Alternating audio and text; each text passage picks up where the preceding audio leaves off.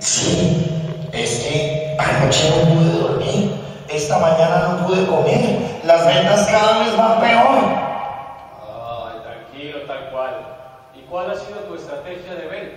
Pues tengo un negocio con una transportadora, pero nada que me haga el contrato. Tal cual, deja de ser tan obstinado. No enfiles todas tus fuerzas en un solo Debes prestar atención a los puntos de subdistribución, a los lugares donde pueden vender tu producto en menos cantidades.